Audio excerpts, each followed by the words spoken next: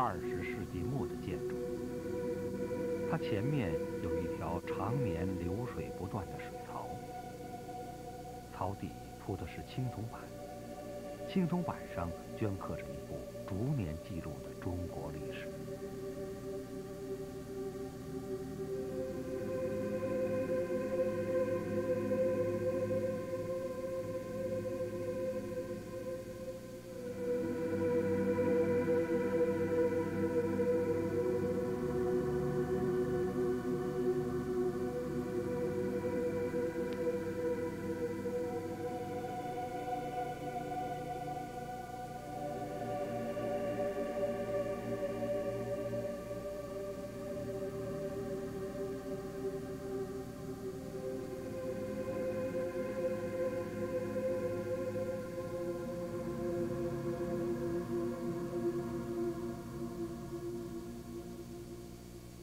奇怪，从公元前八四一年开始，所有的历史事件都失去了绝对年代的标尺。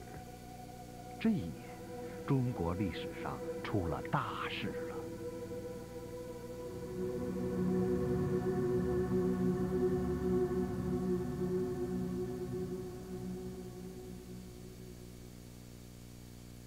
西周晚期，周厉王在。厉王重用奸佞之人侵占国家的公产，谁敢批评他，他就敢杀谁的头。人们在街上相遇，不能用嘴，只能用眼睛互相打招呼。有大臣对他说：“人有嘴，就像大地有山川一样，防民之口甚于防川。”他哪里听得进去？这么搞了三年，国人终于造反了。厉王被赶山西去了，他的时代结束，从此他再没能回来。国家恢复了平静，街市依旧太平。史记上说，没了王的国家，国事由两个大臣来管理，并把这一段历史时期叫做共和。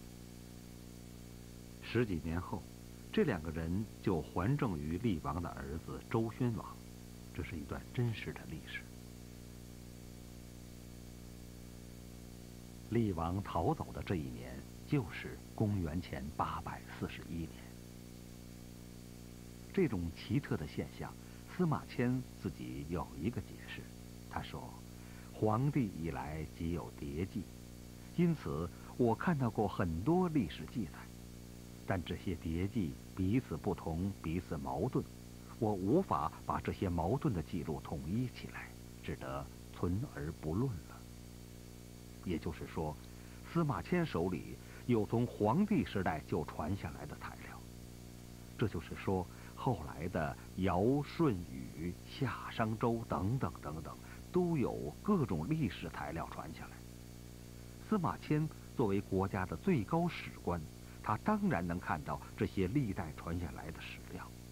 只不过，经他比对分析之后，他认为各种史料关于纪年的材料，到周厉王逃走那一年之后，才能有一个明确的说法。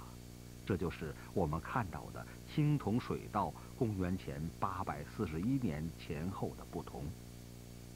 司马迁是对的，因为错误的记录比空白更可怕。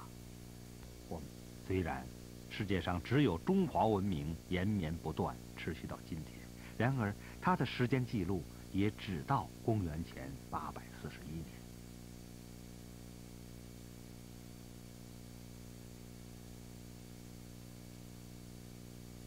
在这个河南的普普通通的小村庄里，历史上出土了一批竹简。原来，西晋的时候。有一些盗墓贼发现了这里的一个大墓，这些人往里走，黑咕隆咚，什么也看不见，于是就点着了墓里的竹简，偷走了他们认为值钱的东西。后来，上面知道了这件事，派人把这些竹简运到朝廷里，细细一看，字体是战国时候的，于是。朝廷挑选了一批很有学问的人，认真进行翻译整理。人们在竹简中发现一部魏国的史书，上面有夏、商、西周，一直到战国魏安西王的年代和大事。这本史书就叫《纪年》。可惜的是，这本书后来又失传了。到了近代，有人搜集古人著作中引述纪年的只言片语，编成一本书，叫做《古本竹书纪年》。一九三五年，中国学者曾在这附近主持发掘战国的大墓，然而再也没有发现竹简和年表。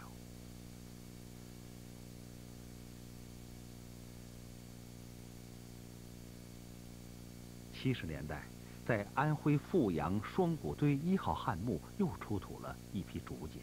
那么这个年表呢，可以说是几种竹书出土以后，在这个历史上啊，两千年这个历史上啊，从来没有发现过相似的这种关于纪年的这种简牍资料，所以呢，这个资料呢非常的珍贵。我说我们当把这个材料公布以后呢，很快这个。中文的东西还没有印出来，是吧？中文的论文稿还没有印出来，这个英文的、日文的，他们都抢先的，很快的就把它翻译出版了，发表了。就是说，可见国际上对这个年表带有纪年材料的这个资料是非常重视的，啊，因为材料啊破碎的很厉害，木简啊这个碎片啊虽然有二百多个吧，但是呢很多都是只有几个字，那么三五个字啊、八九个字的这种。最长的一片也才九九点多厘米，所以呢，很难已经把它完全的复原了。那么，虽然如此呢，作为最早出土的，可以说是这么几百年来唯一一次出土的这个年表的资料呢，还是弥足珍贵的。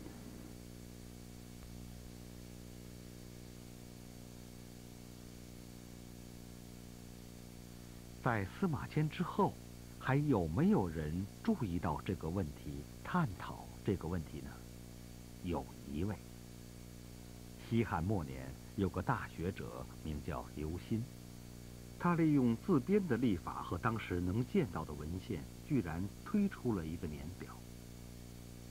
但是他推出的这个年表，后来的学者们认为问题不少，要迈过公元前八百四十一年这道门槛。需要什么条件呢？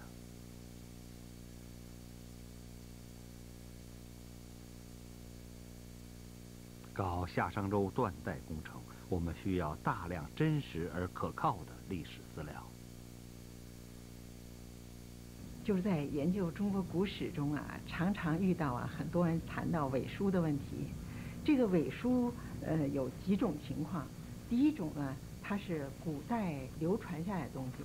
然后后来写成的，还有一种呢是根据部分的古代流传下来的材料，后世写成的。比如《尚书》里头有好几篇是吧？像《禹贡》啊，还有那个像那个《尧典》是吧？《尧典》呐，《禹贡》啊这些。当然，人家更认为呢，它是不可信的。过去这都认为是不可信的，因为它呢是部分的根据古代传下的材料，很多的语言或者很多内容呢是在它加工写定的时间，但是它其中呢也确实包含着古代的嗯真实的一些真实的情况。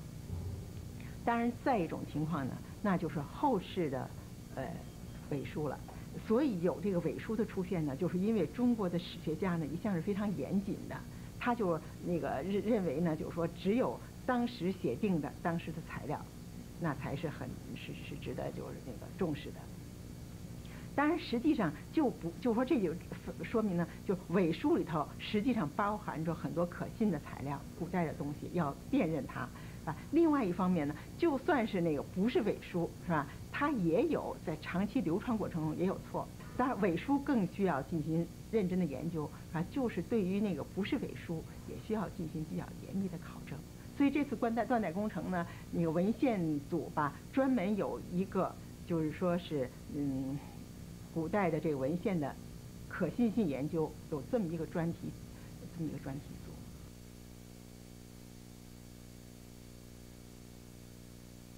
经过七八十年、几代人的努力。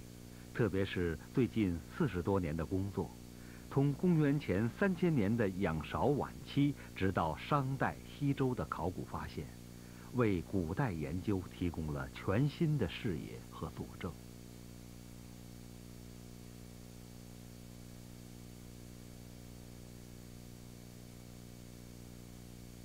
古埃及的断代工作，充分利用了流传下来的天象记录。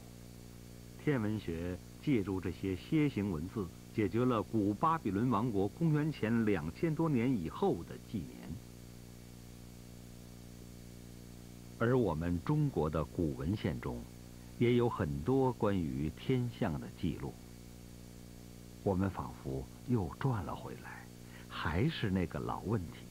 这些关于天象的记录靠得住吗？事情并不是想象的那么简单。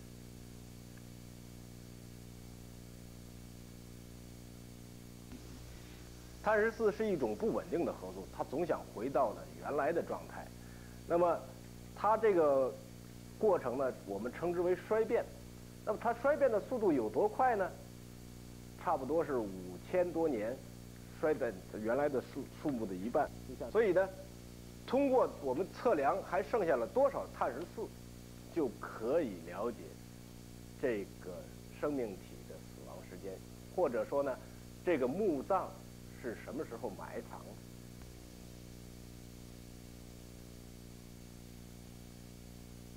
公元一九九六年，夏商周断代工程正式启动。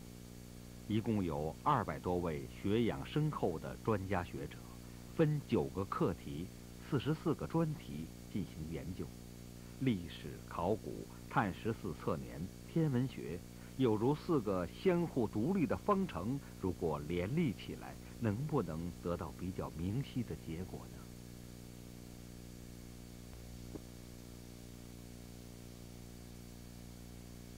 很奇怪。我们只看到仰韶文化、龙山文化、二里头文化，就是没有夏代。这是两套系统，两套语言。我们要问的是，夏对应的考古学上的分期是哪一段？这是一个必须回答、不能含糊的问题。就是到了河南龙山文化中晚期这个阶段里面，都发现有青铜器。青铜器已经出现了，青铜器出现呢，标志着社会一个飞跃的发展。中国历史呢，应当进入到一个新的纪年，新的纪年就是夏王朝，逐渐逐渐夏王朝成立。这是从这个时代呀，或者青铜器方面来讲。另外呢，就是在河南龙山文化的中期和晚期，发现了多座城址，小型城址，比如说。登封王城岗、淮阳平凉台，一系列一系列的古城古古古城堡，古城堡。那么夏代传说是万国，是一万个国家，啊，这个商朝呢是呃千国，到了周朝就是八百了，它越来越越融合，越来越这个集集中了。那么万国这个时候有可能就是众多的小城堡，小城堡很多。就是夏朝以前或夏朝初期还有很多的小型城堡，那么现在这些小型城堡呢都发现出来了，啊，很多很多，啊这是。另外一个呢，我们就是从这个文化系统、文化序列方面来研究，序列方面来研究。比如说研究二里头文化，二里头文化前边什么呢？新代期文化和二里头文化有些相似。然后我们再向上推，推呢和河南龙山文化里面。又有晚期又有紧密相连的文化因素，所以我不是说吗？把河南龙山文化晚期、新寨期定为夏代的早期嘛，就是根据文化本身，铜器、陶器、玉器、石器、骨角棒器，它的连锁，它的这个反映的阶段性的问题，把它联系起来看，这样的话呢，来定为这个夏代初年的这个一些考古。史书上记载说，禹都阳城，那么阳城又在哪里呢？这个七五年，就在一个当地群众传说的一个地方，野地，就是一片野地。这个跟这五渡河一个五渡河的边上，跟跟跟这个银河呀相交叉的一个三角地带，一个岗上，叫当地群众就叫王城岗。我说那为啥叫王城岗？他是因为，但他也是根据过去传说嘛，说禹夏禹王搁这堵过。我们就搁附近，就是搁地下钻探，弄啥拍那照啊。你们早还不上那王城岗上去找去？那说王城岗就是禹都阳城，这结果我就去，搁那阳，搁那王城岗上，结果一钻探一发觉，就是找到了一个城，确实找到了一个城。这个时候人都说是龙山还没成的呀，哎，这我又认为这个遗址的是龙山遗址，一早就找到城了。就找到这个城，这就该全国轰动了。这里就是王成刚遗址。我们崇敬的大禹当年很可能曾经在这里走来走去，而且住在这里。然而历史和我们开了一个玩笑，上演了一出双城记。有意思的是。在河南禹州瓦店村也发现了一个夏代初期的遗址，而且也是安金怀先生发现的。这两个遗址目前为啥说它有可能是都城遗址呢？因为它这个范围大，东西丰富，并且东西制造精致，不是一般的这个陶器。像这这种陶器，你说是搁着一般人。说是作为酒器走，老百姓家里当都都是走个，啊，这几条腿的啊，是这个有口有眼这样子来喝酒啊，可能很困难。在就是在当时那个社会物质条件的情况下，不是一般人所用的东西，有可能是奴隶主用的东西。所以说，我们认为登封王城岗和这个呃禹县瓦店。他这个遗址啊，你要说，也就是咱们现在一般说的，就是龙山遗址。我们用碳十四这把快刀子，得到了夏代初年这两个遗址的年代范围，在公元前两千年左右。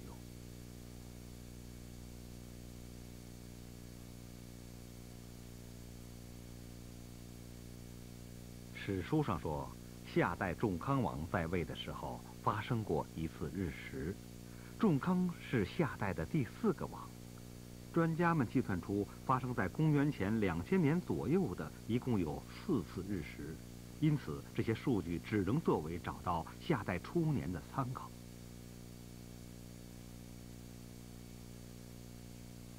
文献中说，夏代初年，金木水火土五大行星聚得非常紧密。经过计算，这件事发生在公元前一千九百五十三年，很接近公元前两千年。在五千年之间，五大行星聚得这样紧，也只有这一次。因此，说龙山文化晚期大致是夏代的开始，是有相当的道理。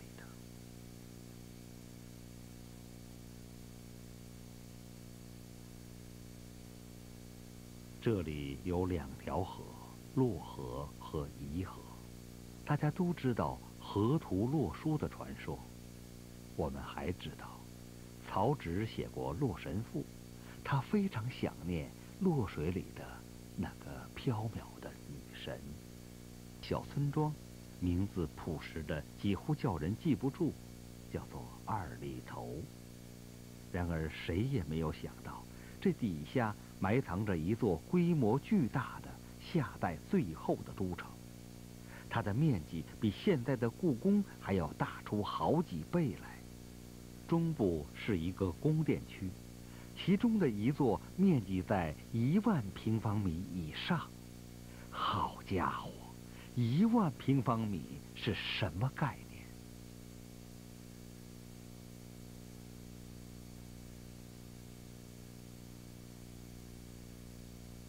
夏代的都城迁了八次，最后的一个叫真寻。从史料上看，真寻就在洛河与伊河这一带。对二里头长期从事考古发掘和研究工作的郑光先生，向我们介绍了出土的各种文物。宫殿之宏伟，几千年前绝非一般的人所居住；器物之精美，几千年前绝非一般的人所使用。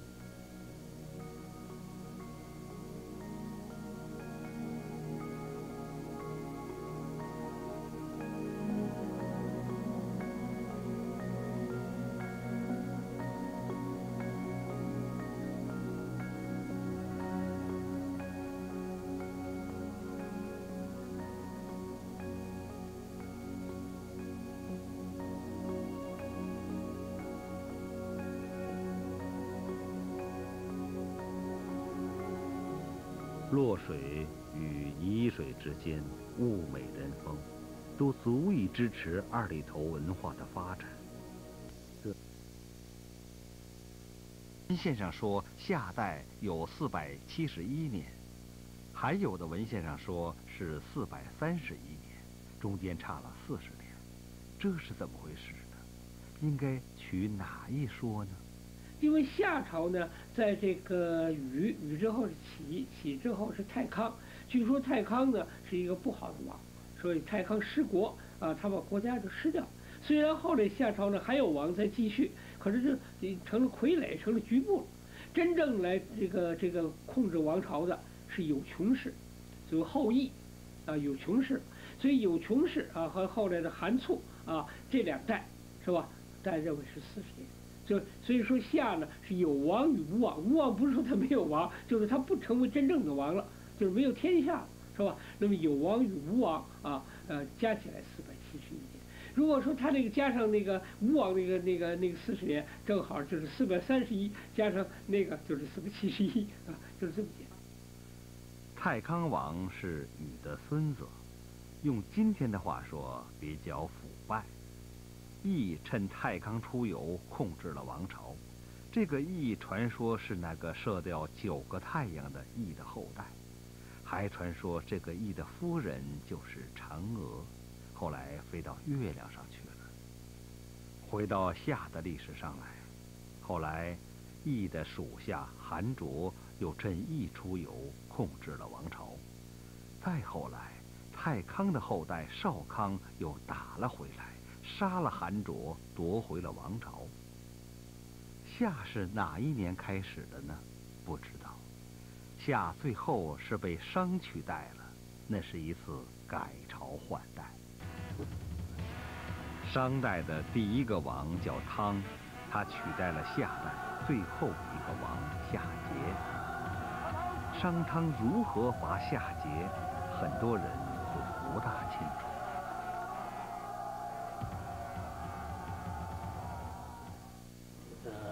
商汤灭夏呢，就是选择了一个，也是选择一个比较好的时机。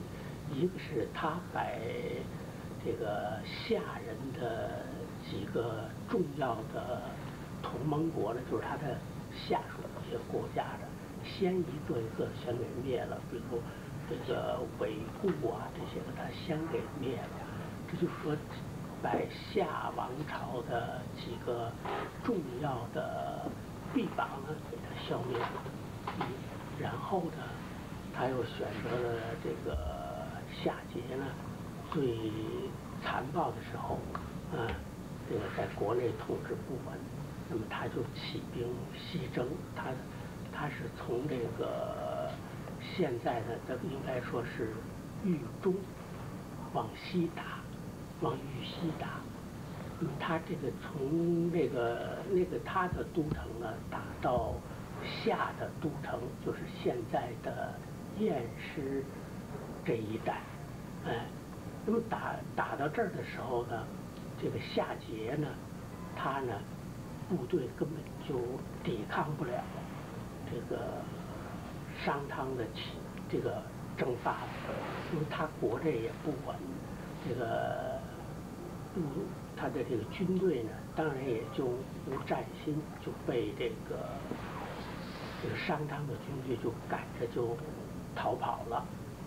这夏桀逃跑呢，他就是沿着这个沿着这个洛河和这黄河向上走了，他就转到山西他老家去了。他现在我们历史上说的是夏虚的这一带，晋南夏虚的是这个夏人的发迹的地方，他的老家。他跑到那儿了，就是那儿那个有一个山脉呢，叫叫明条山，就现在的晋南襄汾这一带，嗯，那有那个叫明条山。到那儿的时候呢，因为商汤呢一直追过去，部队追过去，追到那儿跟他打了一仗了，最后把夏桀的这个势力、军队全部都打垮了。那么夏桀就逃跑了，就是把他等于是说商汤放了他吧，就是让他到了这个超这个地方去了。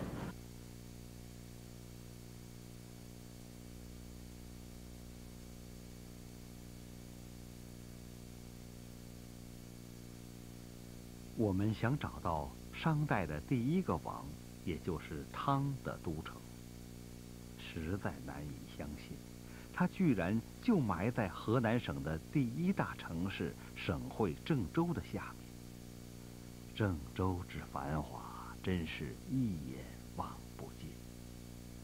在地下好深好深的地方，埋着这样巨大的青铜器，不是王者谁配享用？地上挖掘出了宫殿的遗址，还有祭祀的地方，有各种手工作坊等等，面积与郑州可以相比。谁也不否认，这里曾是一个王都级的大城市。几千年前的城市有城墙吗？有，在哪里？在地下多深？使人惊奇的是。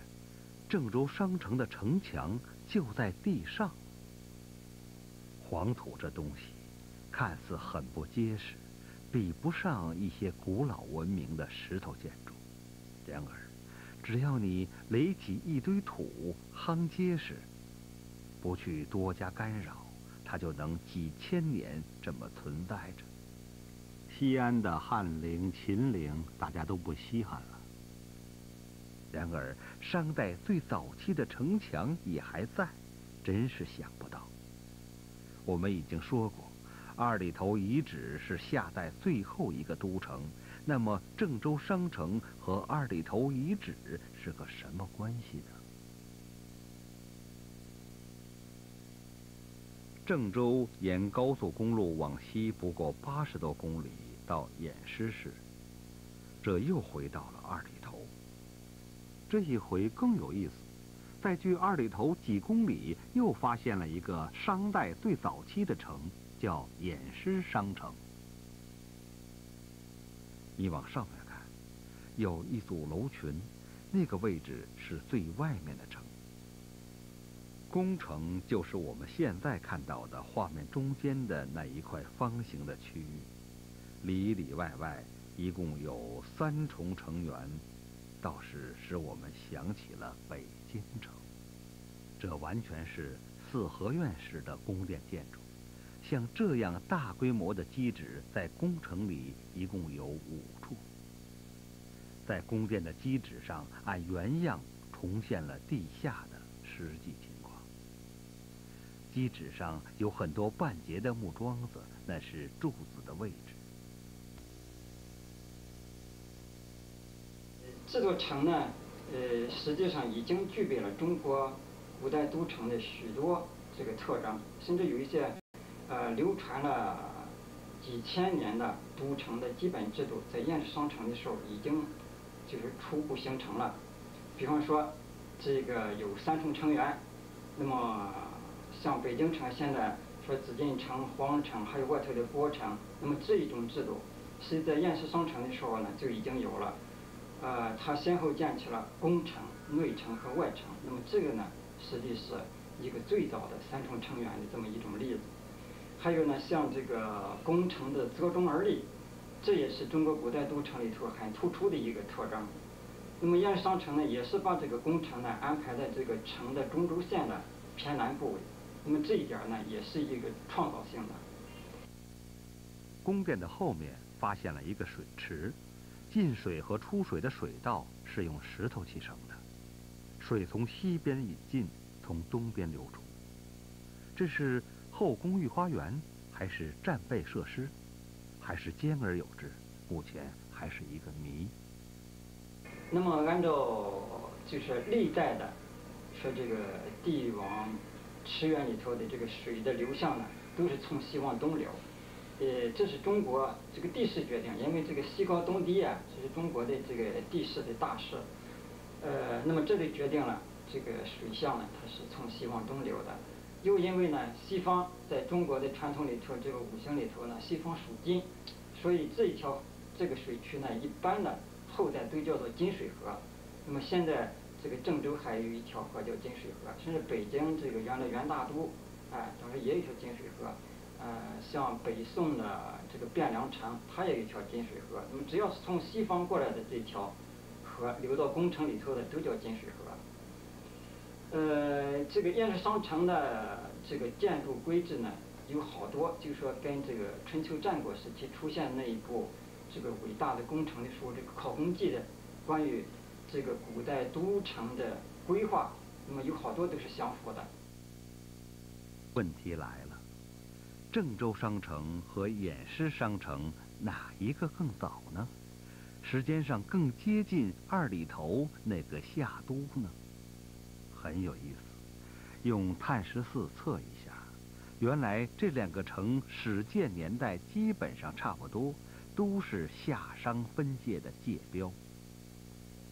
经过碳十四测年，郑州商城和偃师商城始建的年代在公元前一千六百一十年到公元前一千五百六十年这五十年之间。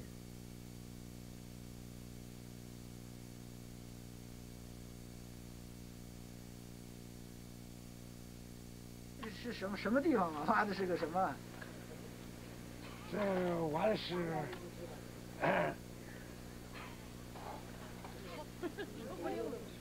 这个商朝遗址吧？啊，商商代的遗址。商代意思。啊，商代的意思啊。就是您挖的时候挖出过东西来没有？挖出过。挖出过，挖出过什么了？啊，盆盆罐罐。盆盆罐罐。人。人也挖出来了，嗯啊，那骨架，骨架，啊骨架子啊，呃那个的那个这铜器呢挖出来了没有？挖挖出来，挖出来过。那么这个重要的发现呢，是最初呢是在这边发现了两个那个青铜的建筑的构件，是属于商代二里岗上层这个时期的，因此就引起了大家的注意。那后来呢，就在这组织发掘呢，就发现了大面积的祭祀的遗存。比如说，呃，在一座宫殿基址的前面，就发现了埋的牛，呃，埋的狗，呃，这样一些很多的祭祀坑。这祭祀坑当中呢，还有一些随葬的陶器，陶器当中呢，呃，其中有的用朱砂写上的文字，呃，这就是比甲骨文要早的文字。而且呢，这个断代工程启动以后，在这进行了广泛的调查和新的发现。证明他们的面积是非常大的，啊，也有这个呃十几万平方公里这呃平方米这样的一个面积。同时呢，根据它里边发现的这些东西呢，呃，特别是陶器，我们陶器呢进行类型学的研究，我们确认呢，它是比郑州商城的繁荣期要晚的一处具有都邑规模的这个遗址。从地望。年代、规格来看，这里有可能是商代搬迁的另一个都城。我们现在无法找出那些王是何年何月在。天已向晚，风吹过来，不禁使人想到了那首有名的诗：“一片片的米谷熟了，袅袅秋风吹过谷梢，独自行路漫漫修远，心如落叶飘飘摇摇。理解我的人知道我心中忧愁，不理解我的人会说我别有所求。悠悠苍天，谁人把王宫变成了荒丘？我们把后面改一下，改成“知我者为我何求，不知我者为我心忧”。其实，求之不得，安能不心忧啊？悠悠苍天，这里埋的是哪一年在位的王侯？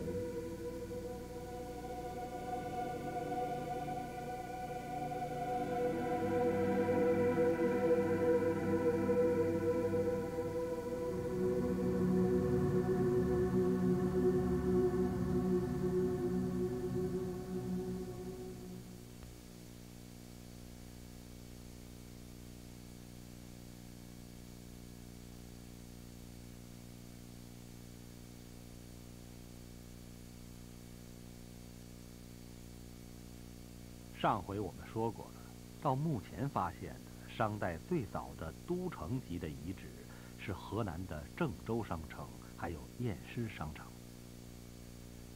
商王挺有意思，总是把都城迁来迁去。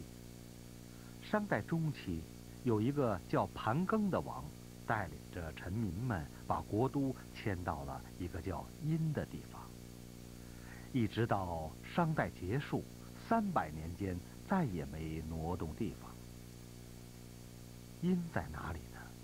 就在现在的河南安阳。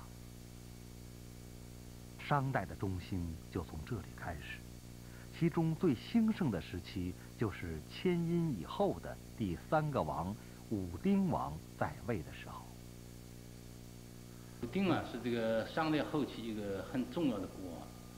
这个据历史记载呢，这个商代后期一共是有二百大概六七十年吧，武丁在位就一共有五十九年，可以说占了整个商代后期的四分之一的时间。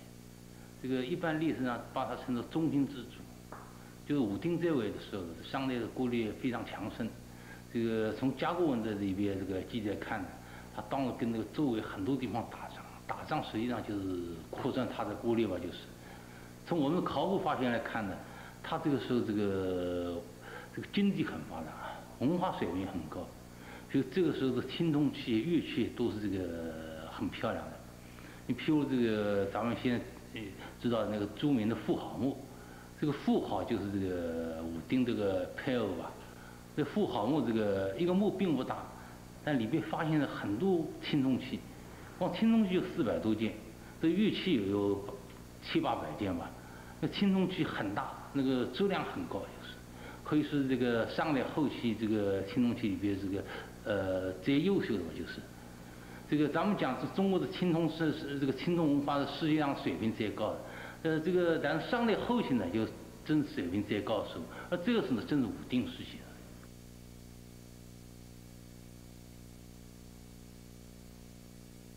武丁时期的一片甲骨上。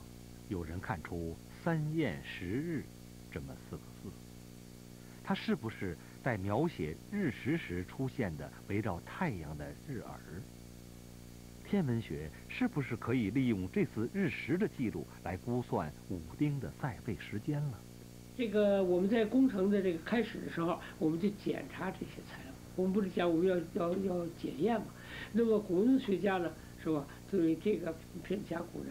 就进行了重新的试读，就发现呢，它不是三言十日，啊，那个三字也不是个三，啊，这个言字也不是言，而且十日呢是一天里面一个时段的名称，也不是日食，啊，所以就把这个问题就排除掉。三宴十日的甲骨上也有大星的记录，有人说这就是日食发生时能看到水星。他说这个。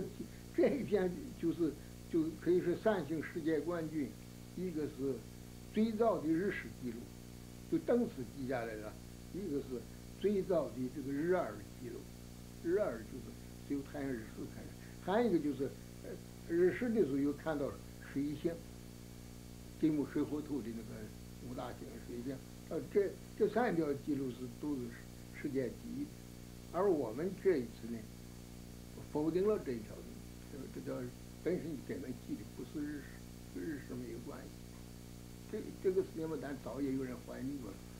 我说这这一件事情呢，我说可能比确定的那个还重要，因为这个否定的话，就是现在西方国家老说我们搞断代工程是民族主义的。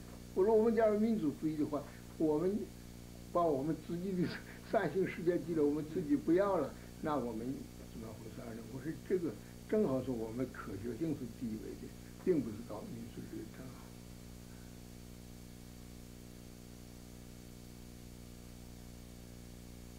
我们再来看看有关月食的记录，这是大致在武丁晚期关于月食的五次记录。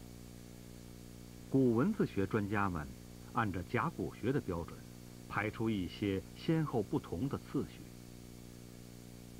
南京天文台的张培瑜先生惊奇地发现，在前后的这五百年范围之内，只有唯一的一组。在几十年内，既符合甲骨文的干支，又符合月食的顺序。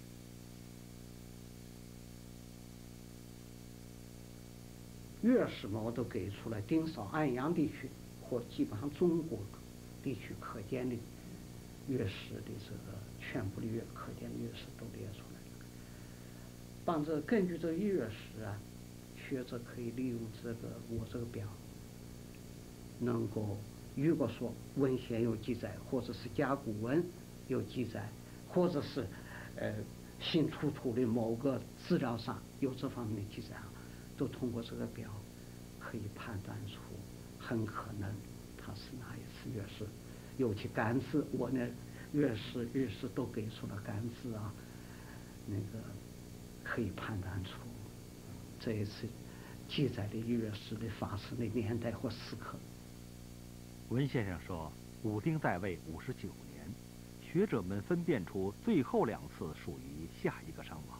妙就妙在第三和第四之间只有一两年的间隔，而第三次月食是在公元前一一九二年。我们把它作为武丁的最后一年，上推五十九年，则武丁在位应该是公元前一二五零至一一九二年。至于商代的晚期，学者们发现了很有趣的规律。呃，周记啊，是商代后期盛行的一种很有规律的、很严密的祭祀制度。这种制度呢，是由五种祀典组成的。商王及王室贵族呢，用这五种祀典呀，对三十一位先王和其中十五位直系先王的配偶。一共五十一个祖先，即用这五种祀典进行轮番和周而复始的进行祭祀。这种祭祀呢，是一个王室接着一个王室进行下去的，这就是周祭，它是商王朝一种非常重要的祭祀制度。那么在商后期年代学这个课题当中呢，有一个专题就是利用周记来论证。商代后期几个王的在位年数，那么周记为什么能求王年呢？这就是说，他商王及王室贵族用这五种祀典对这五十一位祖先轮番的祭祀一周，这个时间呢是三十六旬或者三十七旬，三十六旬是三百六十天，三十七旬是三百七十天，它这个天数与一个太阳年的日数。三百六十五天是相近的，那么呢，我们就可以看到，在排的四谱里面呢，三十六旬周期和三十七旬周期一般是相间安排的，就一个三十六，一个三十七，这样的话呢，两个祭祀周期就相当于两个太阳年的时间，相当于三百六十五天。那么我们利用这个周记的祭祀周期，就可以求王年。也许你会问。对这些甲骨，直接用碳十四测年那把快刀子，不就解决问题了吗？学者们何尝不想？只是问题复杂。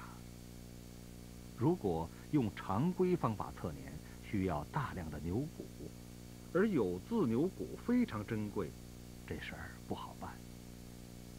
俗话说，没有金刚钻，揽不了瓷器活。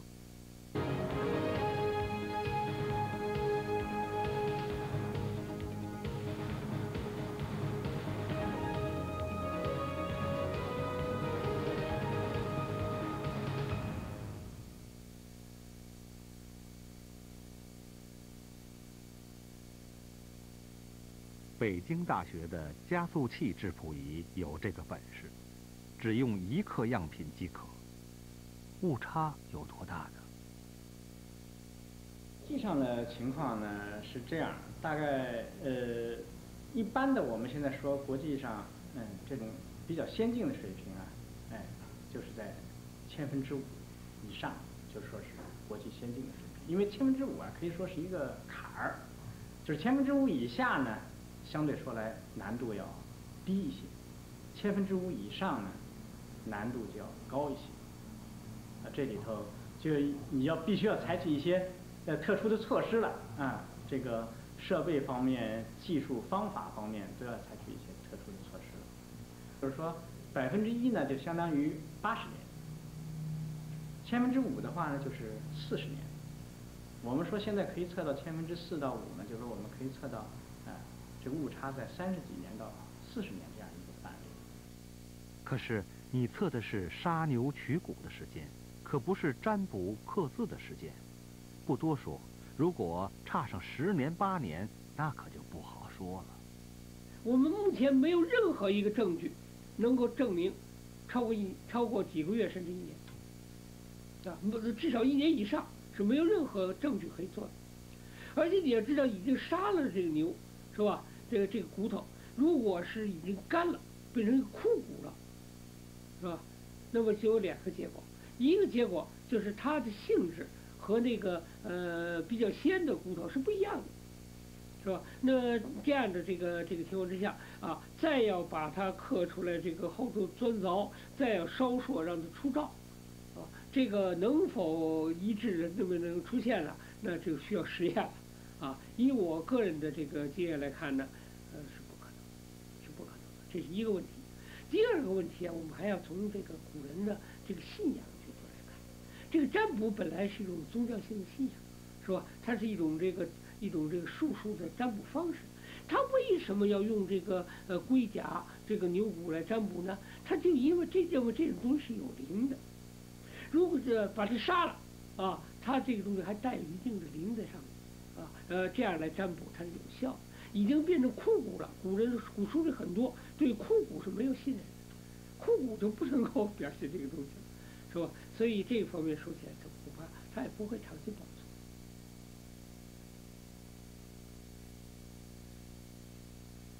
这些青铜器上的拓片上面有王年、有月、有日的干支，还有月相。可惜的是，没有写出哪一个王，而且。符合这四项条件的，一共只有六十多件。这个打个比方呢，有人就说呢，这件是也是一种这个哥哥德巴赫猜想的，是吧？这个很困难。你如果是二百，就是这个二百多年的这个日历，日历已经散了，散了的话，你要把它随便拿出那么几张来，你说算哪年？这就很困难。所以这样的话呢，就需要考古学和和这个和这个考古学家和金文金文学家。和这个天文学家几方面结合起来，说明第一，这个来讲呢，我就花了很大的功夫。学者们通过纹饰、形制等，定出它大致的时代范围，再根据铭文涉及的人和事，排出一个历谱，叫做金文历谱。最容易想到的是用它来考察周厉王，不过说来话长了。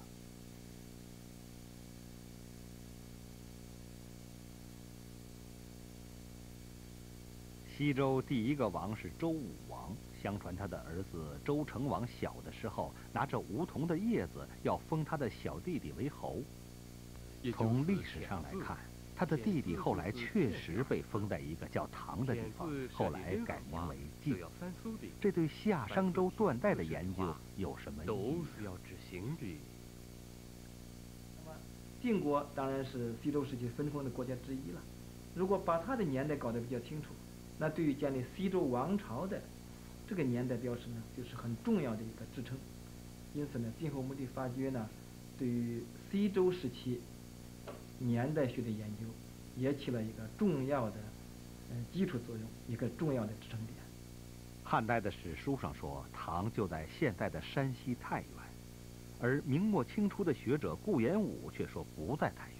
这个太原是首都，他说在南边，在太原南边，呃，说在在哪哪一县哪一县，讲了几个县吧，就是讲哪个县呢？就是讲现在临汾地区的临汾地区的。呃，这个呃，宜城县和曲沃县，呃，就讲了襄汾县，大家就讲了两三县，就讲了这块地方。他说在南边，不在不在这个太原，这一下就相差了八百里呀。呃，七十年代末，这个北京大学考古系周先生周恒先生，这个当时就提出来一个观点，就是说这个天马曲村。遗址呢，从这个它的内涵来说，文化内涵来说，考古文化内涵来说呢，呃，在西周这个早期一直延续到春秋，那么呢，这个地方是十分重要的。呃，根据史书记载也好，干什么呢？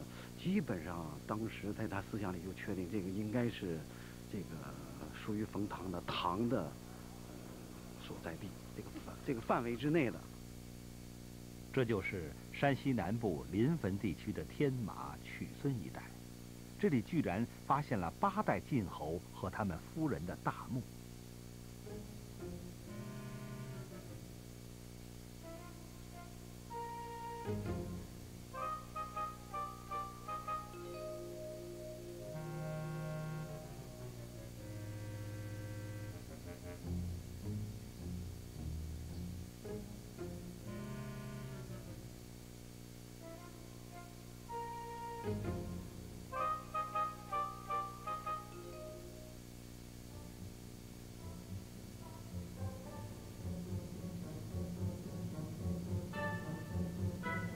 考古挖掘刚刚开始，一群强盗就抢先下手了。这些人用的是雷管、炸药，已经不是盗，而是抢了。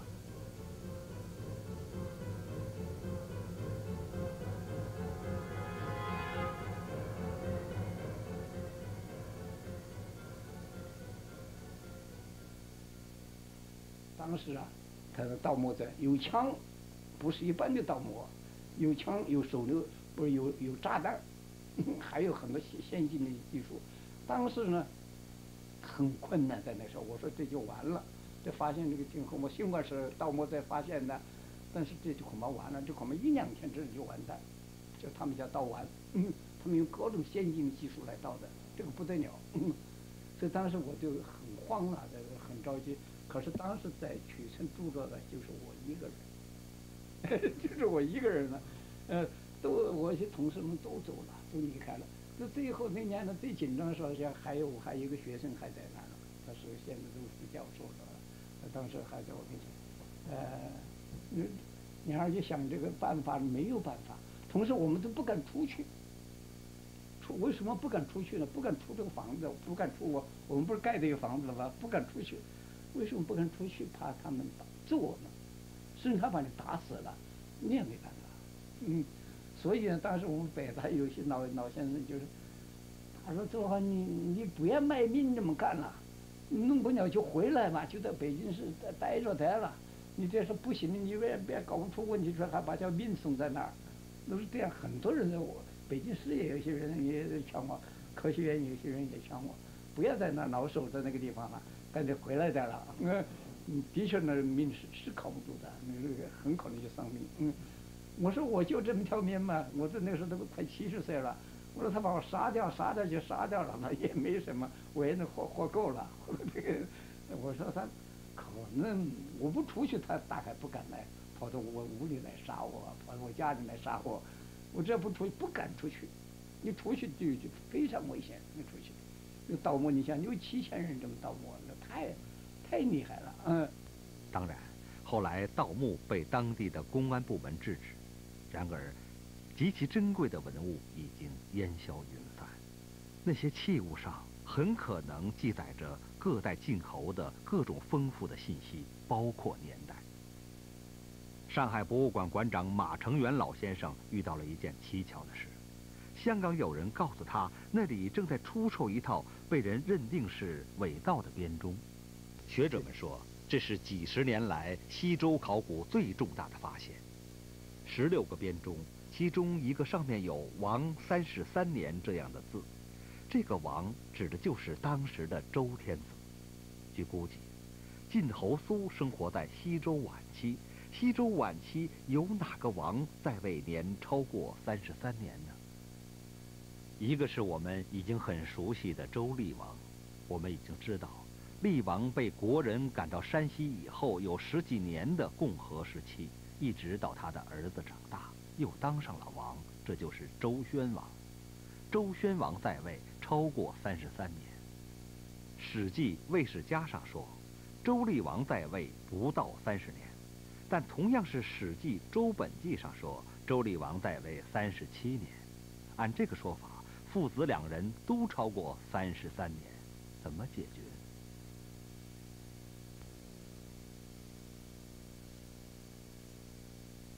还是要用碳十四测年法。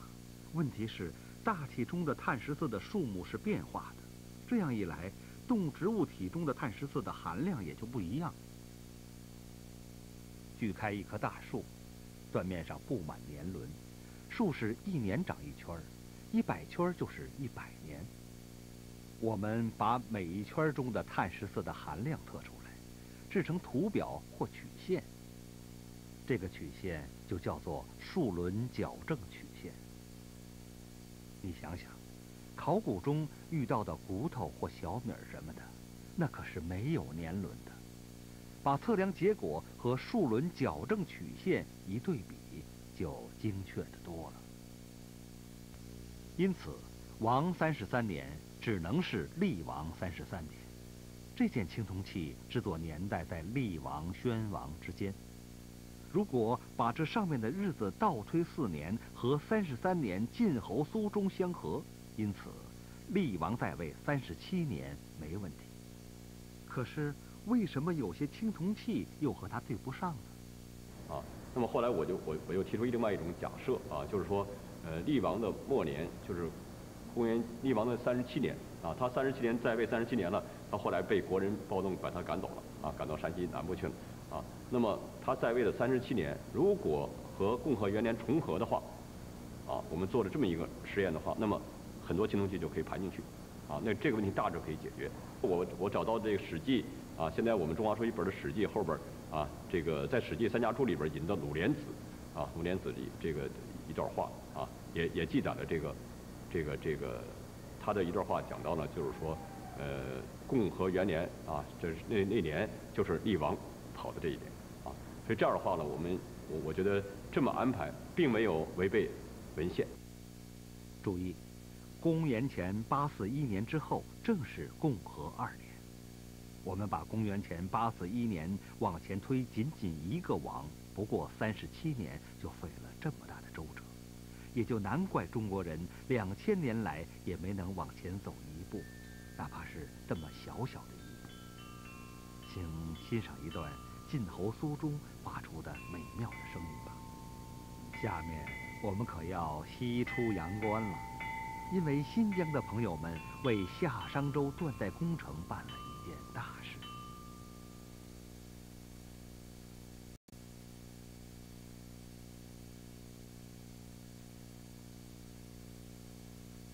我们已经知道，西周一共有十二个王，周厉王是倒数第三个王，在他上面再隔两个王就是周懿王。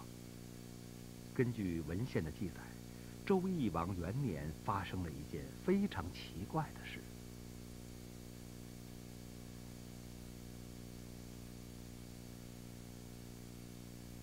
这本书上说，懿王元年，天再诞于正，这是什么意思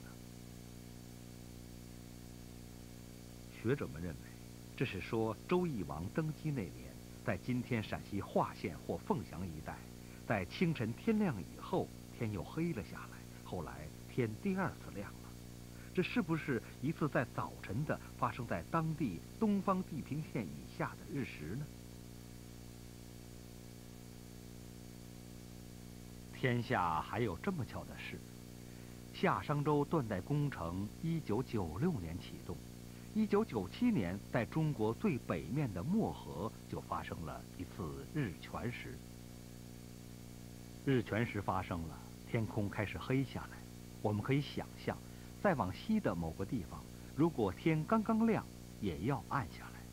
日食结束，天一定又开始发亮。对那个地方来说，这就是天再诞。因此，我们这个课题呢，重点就是两个：一个呢，在理论上解决了天灾诞这个现象，怎么样去计算它，怎么样去表述它，以至于最后我们可以把它在地图上画出来，在。这个可能这一百来年的这个范围内，在中国这个地图上发生了多少次？哪些范围里头是哪一年？另一方面，我们这个计算方法得到了一九九七年三月九号，我们在新疆组织几十人在十八个不同地点所做的观测。根据计算，这次天灾弹将发生在新疆的塔城和阿勒泰两个地区。到三月六号呢？呃突然呢，就是转来了一封信，就是呃夏商周断代工程天灾弹课题组要派人到塔城来啊这个观测。当时这一点呢，我这有点有些不解呀啊，我们塔城的日食是看不见的日食，没什么观测可言，是不是啊？最后呢，我根据递来的资料才发现，啊，通过这次观测，我们要印证、验证天再诞的这个历史记载的这种天文现象。当时我们联系的时候啊，只讲叫他们客观地观测呃日全食，没有指出有没有可能有天再诞的现象，没有指出这一点。为什么呢？想让他们在一个很纯粹的客观环境当中，很自然的表达。看来这个成果是高于我们的期望值，啊，很好的。根据天文计算，阿拉泰地区是观察天再诞更明显的地方。那儿的人感觉比塔城的人更强烈，或许更接近周代史官的印象。让我们来听听。嗯，七点，我是七点半那个天开始慢慢慢慢暗下来。暗完了以后，突然天那样子黑了，黑了以后，我心里也跟着好像沉重的很，很沉很沉，好像一下子有什么那样子天灾人祸那种感觉啊。这个图呢是理论计算得到的，公元前一千年到公元前八百四十年这一段时间里，在我们中国的范围内发生的这个天灾诞日食的这个范围，也就是说我们画的这个。黄色的这一部分呢，就是能够看到某一次日食发生的天灾诞的范围。我们通过这个图可以看到，在正这个地方，就是我们画了三个黑点儿，这是当时正可能的区域，那么就只有这一次，公元前八百九十九年四月二十一日这一次呢，才有可能发生在这儿。那么这一年，在西周铜器上有没有什么？可以作为证据的，呃，我们是有的，有的。譬如讲，譬如讲，啊，在这个呃，我们把这个呃，我们把这个四虎鬼，四虎鬼这件东西就定在一万年，一万年。从形制上来讲呢，是应该说是西周中期以后开始出现的这么一种形式。从其实铭文上来讲嘛。在这些铭文里面提到的几个人物，比如像景叔，比如像一公，比如像这个这个这个定伯，这些这些都是在西周中期，比如说公王时候、义王时候出现的人物。那么根据这样的情况呢，我们是把这个四虎鬼呢定为翼王年，因为石虎鬼本身写的是呃为王元年吧，那么应该把它定在呃翼王年。那么呃按照天文的推算，呃翼王元年应该是公元前八百九十九年。那么我们根据石虎鬼的这个历日材料和这个历谱一对照，完全符合，啊，完全符合，不管是月、月相、干支都可以。因此呢，我们可以说石虎鬼这件东西就可以就是从铜器上来证明翼王元年这个确实是是公元前八百九十九年。然而，夏商周断代工程的重中之重，莫过于找到商周之交那场惊天动地的战争——武王伐纣的确切时间。如果找到，夏商周三代的很多问题将顺次迎刃而解。这是一个必须攻克的战略要点，也是一个不能回避的硬碰硬的制高点。我们拭目。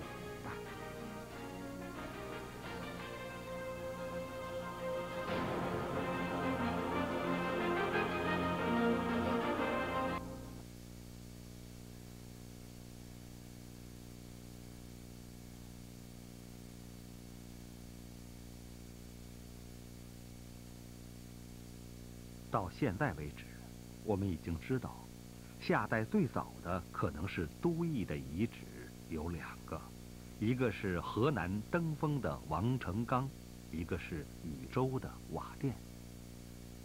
我们还知道，这两个都邑创建的年代在公元前二一二零年至公元前二零四零年，有八十年的区间。夏代最后的一个都城遗址就在黄河边上的洛河和伊河交汇处二里头村。它应该和商代最早的都城联系起来，以确定夏商之交的时间。于是历史又给我们来了一个双城记。郑州商城和偃师商城都是商代最早期的、具有都邑规模的城。他们的始建年代是公元前一六一零年至公元前一五六零年，又是一个五十年的区间。说得更明白，我们没能确切找到夏代灭亡，也就是商代建立是哪一年。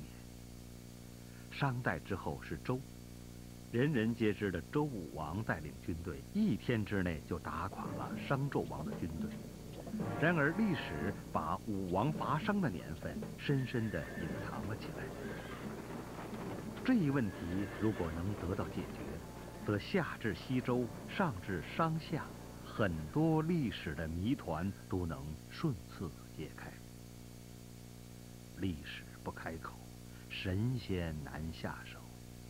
我们介绍过，两千年前的汉代大学者刘歆已经在做这个工作。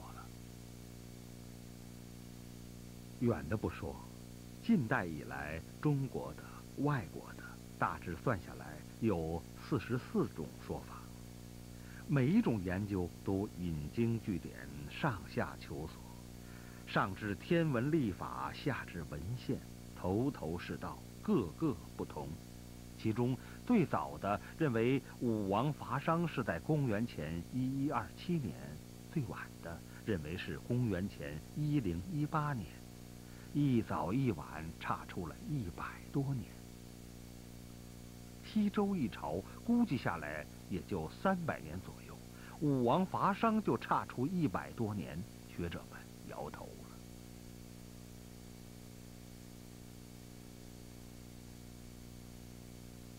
安阳殷墟从考古上分四期，第四期碳十四测年，在公元前一零八零至一零四零年。武王伐纣的时间不会早于第四期。我们已经说过晋侯苏中的故事，很明显，武王伐纣的时间不会晚于第一代晋侯。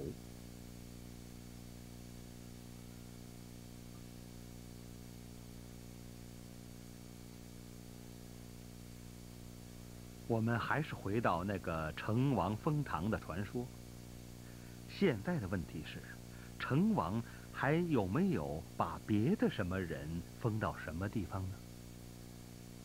能不能找到这样的一个侯的墓地呢？我们不必到深山老林去找，就在北京的边上，一个叫琉璃河的地方，就有了重大的发现。在城里边，我们发掘了数万片陶片，商时期的陶片一片也没有。最早的都是西周早期的，另外城里边各个遗迹单位呢，也都是西西周早期的。在九六年秋季的时候呢，是北京大学考古学系呢是派了几个研究生到我这点来实习，其中包括日本的、韩国的和咱们中国的，哎，这研究生有博士有硕士啊。然后在当时就是发掘，就是清理呢，就是城里边宫殿区附近的祭祀区。然后是当时是发现了几个大灰坑，其中就包括出甲骨的这个呢，是 M 那个幺零八。当时我不是说了出土了几十片甲骨，但是当时都没发现字儿。西周时期的甲骨呢，在陕西周原出土了这一些，他那个字儿呢很难辨认，就是他说这上边有字儿，让您看，您恐怕都找不着，得都得拿放大镜看。所以呢，我就老觉得呢，这应该是有字儿，出土这么多片儿，可是呢，他当时没发现。然后我就跟，哎，这些研究生们说啊，我说，你们使劲找。因为当时这点生活，说实话比较清苦，我还悬赏，我说找了一个字儿，咱们奖励十个鸡蛋。哎，回头他们就使劲找，回头正好日本的那个留学生呢，哎，在那个呃整理这个甲骨的时候呢，哎，发现上边有字了。在这片巴掌大的甲骨上，有细如发丝的两个字“成周”。成周是周成王时建的第二国都，这说明这个遗址的年代不会超过武王伐纣。周公和韶公辅佐成王，这是大家所熟悉的。周公后来被封在鲁，在山东，而韶公呢，被封到了燕，也就是今天琉璃河这一带。墓中出土的两件青铜器。就记载了成王封韶公到这里的情况，还说韶公自己没来，他的儿子来了。碳十四测年的结果，这里最早不过公元前一零四零年至公元前一零零六年。能不能找到一个地点，跨越西周和西周之前的两个时代呢？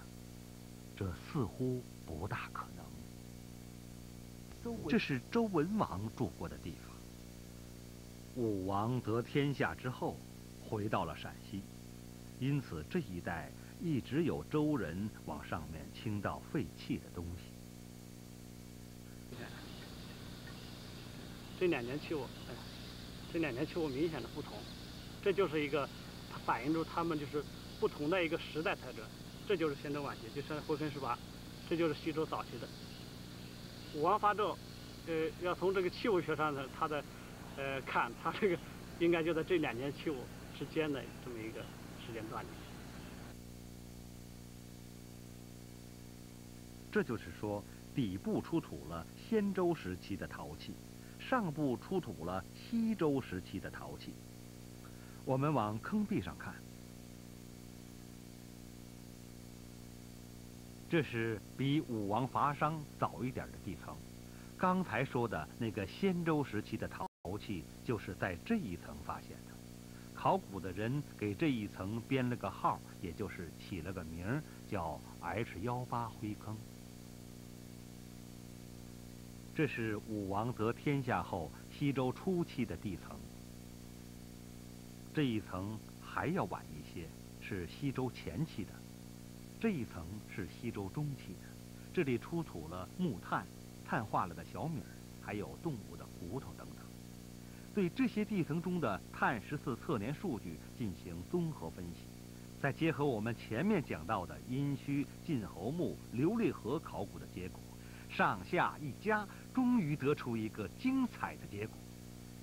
武王伐商应该是公元前一零二零年到公元前一零五零年这三十年之间。好了，武王伐纣的时间一下子从一百多年缩小到三十年的范围，下面就该天文学家们出手了。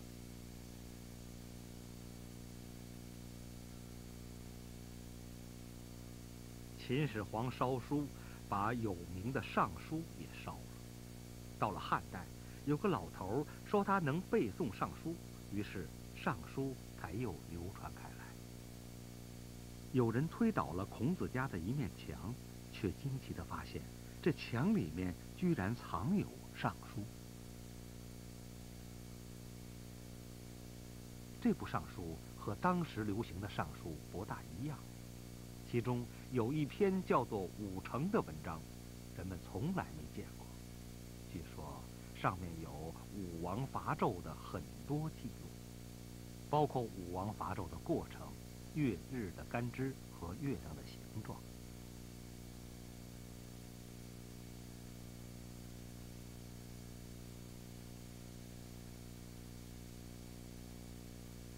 我们说过，汉代的刘歆推算过武王伐纣的时间，他推算的依据其中就有这篇《武成》。可是，曾经有一位很有名的人说这篇文章是假的，根本不能信。圣人的话还能有错吗？于是这篇文章没有引起人们的重视，后来就失传了。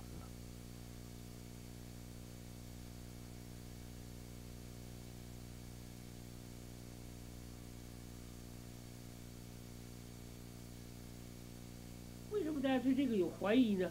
可能最早还是孟子，因为孟子说呢，这个他说呀，以治治人发之不仁呐。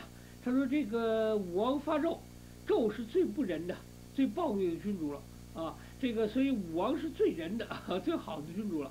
那么好的君主去打坏君主，老百姓都拥护啊，怎么会血流飘杵呢？怎么会这一打仗之后啊，这个流血太非常之多，甚至连这盾牌都在血中飘起来了？啊，怎么可能有这个结果呢？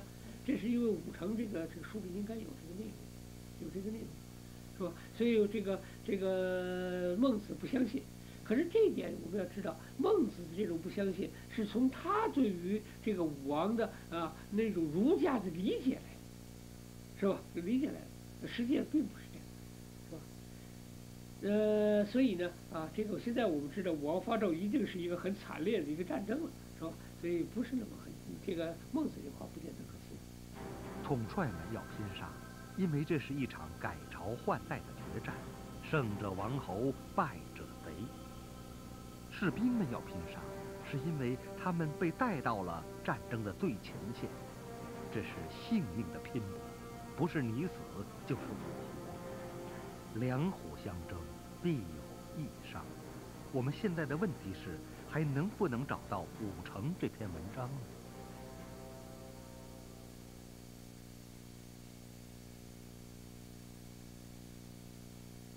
这本书收集了一部分遗失的兵家著作，一篇叫做《世福》的文章引起了人们的关注。《世福》这一篇里面的文字啊，呃，除了个别字可能有错以外，啊，和那个刘歆引的是基本一致，而且开头也有这个“武成”这两个字，是吧？或者它可能是武成一个译本，可是保存的不好，保存的不好。那么我们看这篇里面，那个仗打的是非常之这个惨烈，啊，呃，武王这个打了很多的国，啊，这个事事情很多，而且里头的很多的文字的和内容上的特点，都和甲骨文相似，啊，和周书的金文相似，所以看世福是非常可信的，啊，那么这样的，所以我们认为武成呢。武成呢，这个里面最主要的就是有一个当时历法的这个这个记记载，啊，根据这个历法，我们可以推算武王那时候的啊这个呃他的历日。看，十九个日子的干支月相。武成和尚书中的其他的文章前后呼应，构成严密的周代初年的年代系统。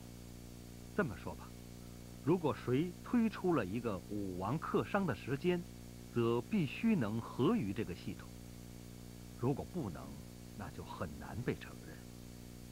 人们或许会想到，能不能找到一个人参加过那次改朝换代的大战，留下真实的文字记录呢？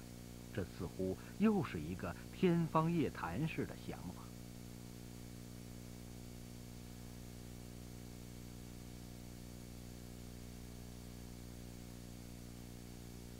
一九七六年，陕西临潼出土了一件青铜器，叫立鬼。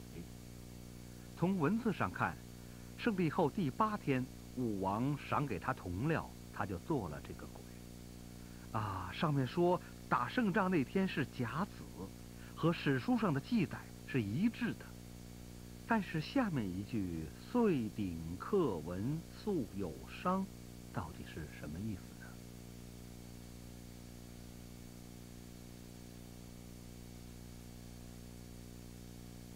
我们来看看，西周一共是十二个王，最早的王当然就是开国之王周武王，最后一个王就是大家熟知的周幽王。周幽王烽火戏诸侯，和我们小的时候听的《狼来了》的故事性质差不多。幽王的大夫人有一个儿子，可是幽王想立另一个夫人的儿子将来做王，于是赶走了大夫人。大夫人就回娘家诉苦，娘家人一听就火了，立刻起兵把幽王杀掉了。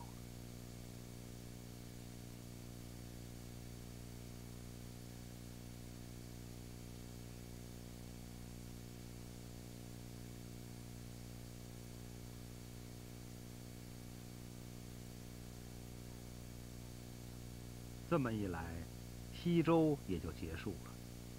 后来，大夫人的儿子做了王，把国都搬到河南，这就是有名的平王东迁，也就是东周的开始。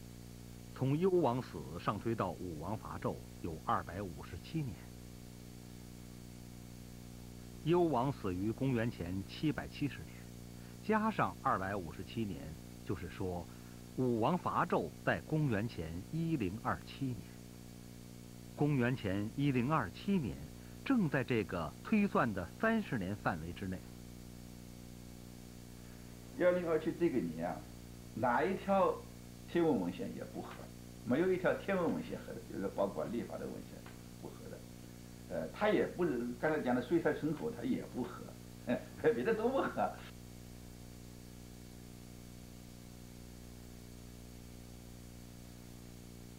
有记录说。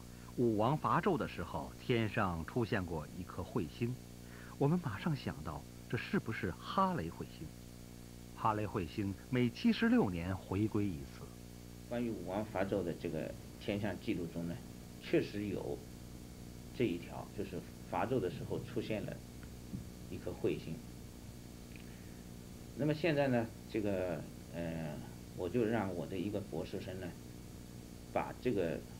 古代彗星记录和年代学做他的博士论文，那么重点研究这个问题。呃，研究的结论是呢，我们不能依赖这颗彗星出现的记录来定年。为什么呢？因为我们无法断定这颗彗星是什么彗星。能够断定这颗彗星是哈雷型彗星的。概率只有百分之零点三，那么我们知道这个，我们不能把推论的基础放在一个概率这么小的事件上，所以这个结论呢是这个无法根据哈雷彗星的这个记录来推算武王伐纣的年。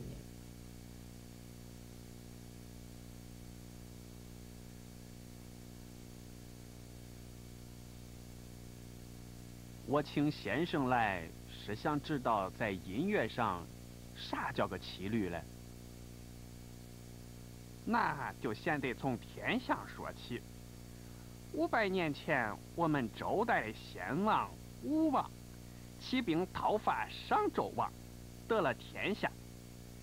那时候的天象是岁在春火，月在天似，日在西木之金，辰在斗柄，星在天元。那么叫人想不到的是，武王伐纣时的天象，竟然出自一个音乐官员。这个人的名字很怪，叫做灵州鸠。他距武王伐纣的时候已经好几百年了。我们能相信吗？也要是上合天数的，所以才有七律呀。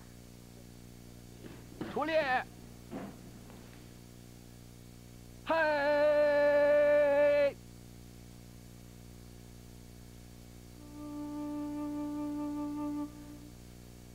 将军，他刚才喊了一声音高，是雨声。根据《周礼》上说，那时军队作战前。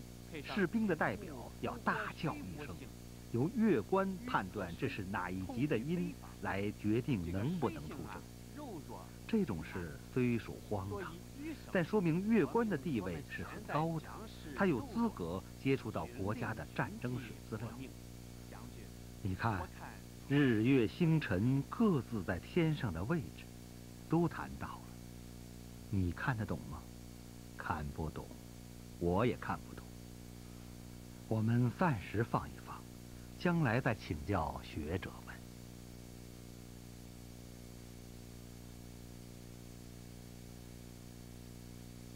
武王伐纣，从风水东岸出发，向东行军。从八百里秦川往东来，第一个关口就是潼关。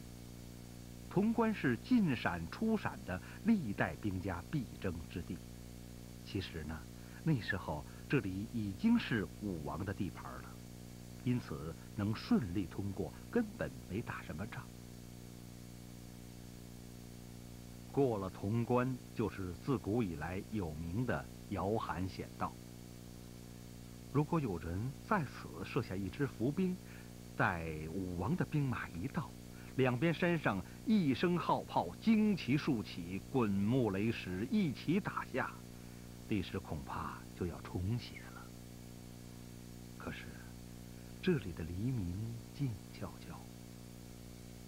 原来，这一带也早都是武王的势力范围。两年前他就来过一趟，只是觉得时候不到，又撤回陕西了。因此，我们也可以理解，为什么武王敢于千里长途奔走，打击纣王。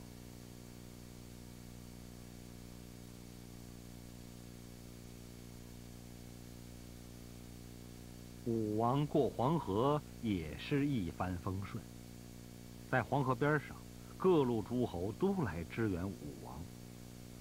武王遇到的唯一的阻力，恐怕就是两位老人，一个叫舒淇，一个叫伯夷。相传他们在这里拉着武王的马缰，大道理讲了一遍又一遍，但武王对他们很客气。不过军队还是往前开拔，两个老头只好回去了。因此，武王一路上进军顺利。他从出发到决战，也就是一个月左右。这样就给天文学的计算画出一个大致的范围。我们来看看江小源先生的推导。首先，他放宽寻找范围，从三十年放宽到一百年。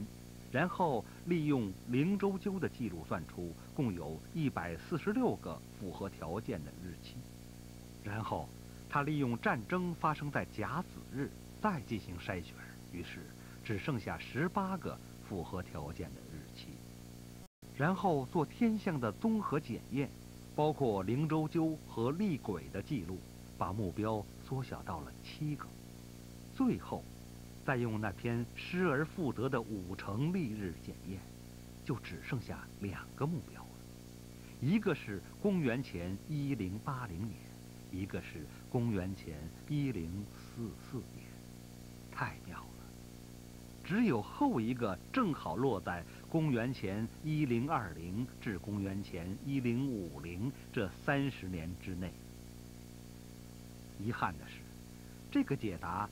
竟然和我们前面知道的金文历谱不合拍。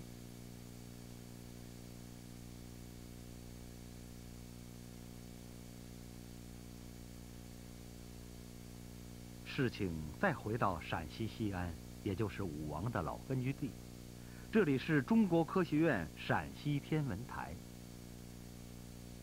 这里有世界上最先进的原子钟，我们常说的北京时间就是从这里发布的。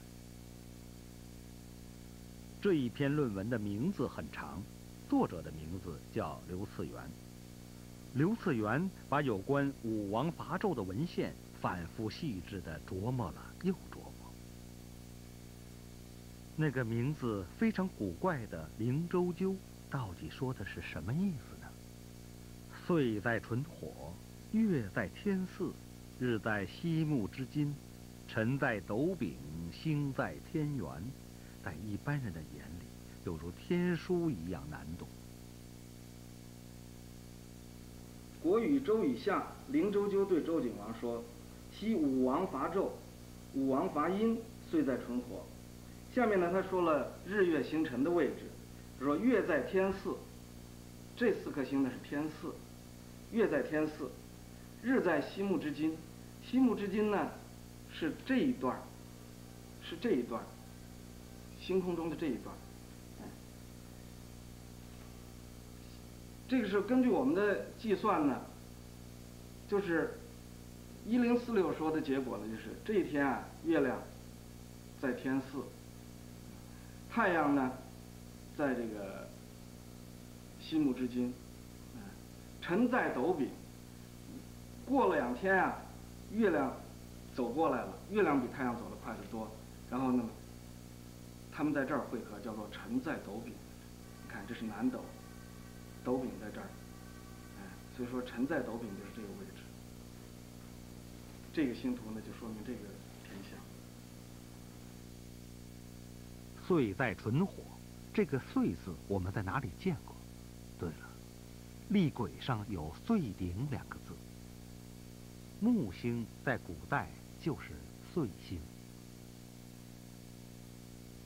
这个星图呢是，呃，武王伐纣那一天子夜的天象。我们可以在这上头看到啊，木星在这个地方。所谓“岁在纯火”，纯火呢是指的柳星章，就是二十八宿柳星章这部分。所谓的南方朱朱鸟，四象里的南方朱鸟，这上头就说明岁在纯火，而且呢，这个子夜的时候呢，岁星呢正好在子午线上，也就是中天，所谓我们天文上说的中天，这个就印证了厉鬼那个铭文上的岁鼎那两个字，哎。因为这个古文字学家解释岁鼎呢，就是岁星正当，正当中天，哎，或者是正当纯火。因为这个文字很古啊，现在已经很难够很难把它解释的很清楚了。但是这样一个星图呢，就是我们所想象的当时的这个情况。刘思源仔细研究五成，考虑各种月相说与克商年的对应关系，然后。和江小源先生一样，以五成和灵州鸠的画为依据，放宽到一百年的范围进行筛选，得到约一百五十组可能的日期。再按这次夏商周断代工程对于青铜器上月相的研究成果进行筛选，得到十组密合的，还有十五组粗合的日期。最后再按岁在纯火这一句进行筛选。只有一个结果落在公元前一零二零至公元前一零五零之间，这就是公元前一零四六年一月二十日。哪样最合是幺零四四幺零四六最合？我当时提出来结果是最优解是幺零四六，呃，它几乎跟什么都是合的。为什么会有一零四四和一零四六这两种结果呢？至少有一点。江流两位先生所依据的月相词的解释不一样，这上面既生破、既死破等等月相词，几千年也没搞清楚。因为月相是什么你不清楚，那么最后结果还是还是不行的。这个我最后认定的结果，根据也后来也是根据这个呃我们现在金木离谱的研究结果结论是这样的，这个基升坡是上半月，基石坡是下半月。这个基升坡的话，就是看就是从坡就是光亮部分了，就是月光开始产生到月圆这一段叫基升坡。也就是说，现在批的初二、初三到十五、十六。这个基石坡的话呢，就从基望，也也也就是望那个以后到看不到看不到月亮，哎这一段，从这个月亮。深出黑暗部分，然后到全黑这一段就叫基基石坡，基望嘛就是望以后。我们这一次呢，根据文献方面的考证，根据天文方面的分析，根据青铜器种种方面呢，我们得到了这个月相词的这个合理的解释。那么把这个东西带进五成，啊，我们这个。呃，数学上常说的五乘是一个公式，我把我的已知条件带进去，哎，我把这个带进去，我就得到了若干组可能的结果。另外呢，我们再把这个岁在纯火，也就是说岁星在纯火这个星座，再给它带进去。另外结合各方面的史学的线索，比如说我们在这个考古方面，呃，已经限定了武王伐纣的年代。哎，比以前要限定的要小得多了，哎，等等，这样呢，我们就得到这个一零四六年这样一个唯一的结论。公元前一零四六年一月二十日，天亮之前，总攻击开始了。这个时候，武王身边的一位史官猛回头望着南边的天空，记录下了当时的天象。它使得三千年后的学者们能够利用现代科学技术推导并真实的再现这一壮观的、激动人心的场面。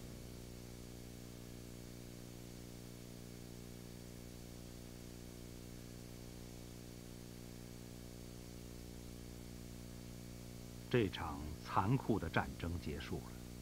第二年，武王也病了，病得不轻。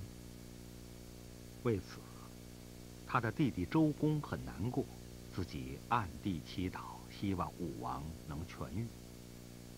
那么，武王在位多少年呢？这也一直是个解不开的历史之谜。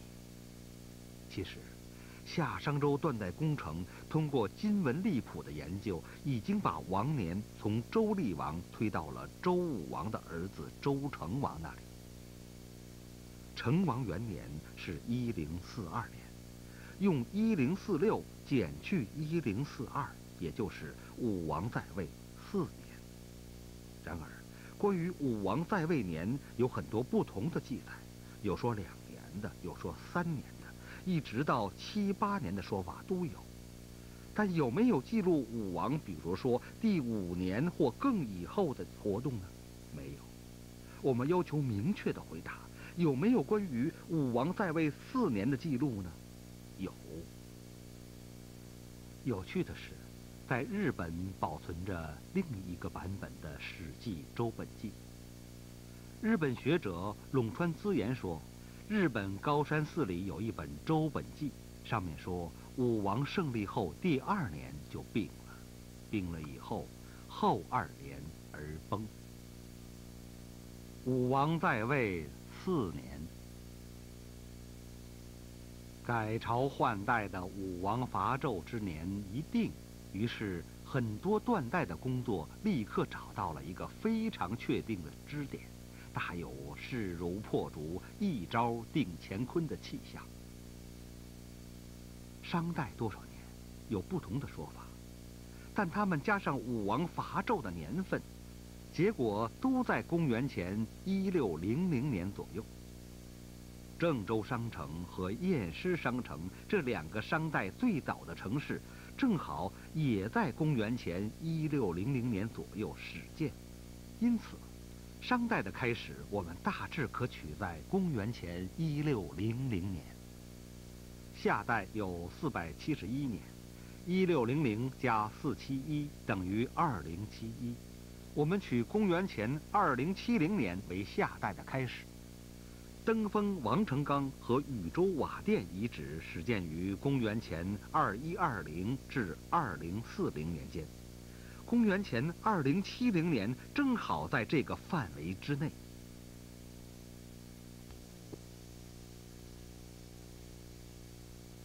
文王和武王两代人可以改换一个朝代，而两百代人却未必能找回那个失落的年表。我们没有见过别的古老的文明，在年表这样的问题上，竟有长达两千年的执着和追求。终于，在二十一世纪即将开始的时候，得到了一个比较明晰的、比较合理的年表。这是一些从来不被一般人熟悉的大学者，在我们的这部纪录片中，没有可能把这两百多位学者一一介绍出来，更没可能把他们的研究也一一介绍出来。那是一个深不见底的大海，没有这个大海，我们的成果不会被拖出海面。几千年来。流传到现在的文献中有关夏商周年代的信息，都被我们一一审视过了。所有我们能看到的出土的文物，只要是与年代有关的，我们都一一考虑到了。最后，我们全面而完整的再看一眼这个曾经失落了两千年，但终于被我们找回来的年表吧。